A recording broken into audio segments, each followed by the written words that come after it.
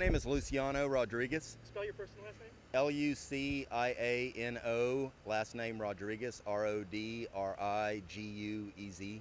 Tell me about this morning.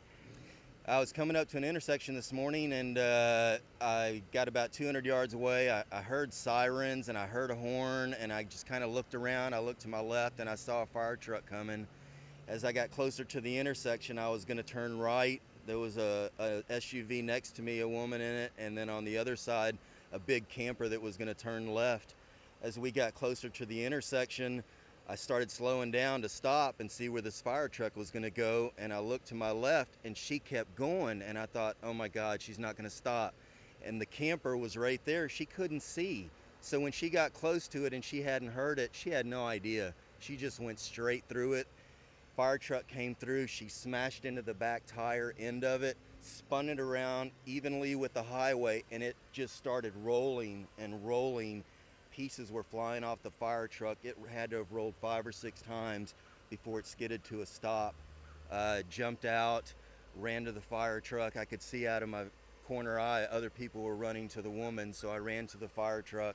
There was several guys who had gotten there too, and we all started looking for the firefighters. We didn't know where they were, and one of the guys pulled back a piece and saw one of them down in there, and so they reached in and started grabbing him and the other guy grabbed his other arm and when they got him out they looked at me and i just grabbed him around the waist and he started to fall and i picked him up and said you got it. We're all right man. You're okay.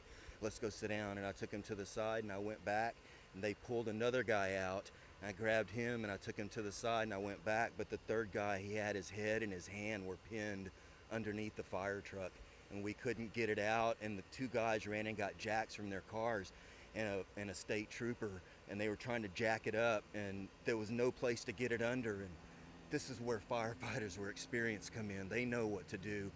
We just couldn't do it. We tried and tried and uh, like five minutes went by and a fire truck showed up and immediately they got the jaws and they started cutting him out and got him out of there pretty bad shape yeah he was he walked away but he had blood there was a big pile of blood on the cement it was I know he was hurt. It, it, I think it was coming out the back of his head. But uh, I didn't see the other victims. I was told that the woman had a neck injury and that the child in the back seat was hurt pretty good. So, and that's pretty bad, and and that's all I now, I heard. The fire truck was coming, going what uh, east or west? Uh, yes, the fire truck was coming from the Huntsville High School direction towards 45, so it was heading west. Okay. I was heading south on 247, coming this way.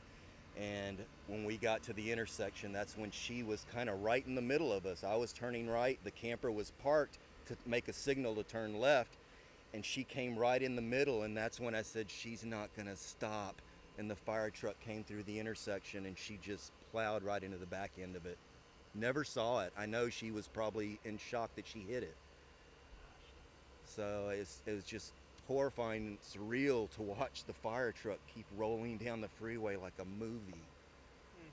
That's just what happened, man. And other people are heroes. There was a woman who was down holding his hand the entire time, and he was hurt pretty good, the guy that they had to cut out, and she never left him.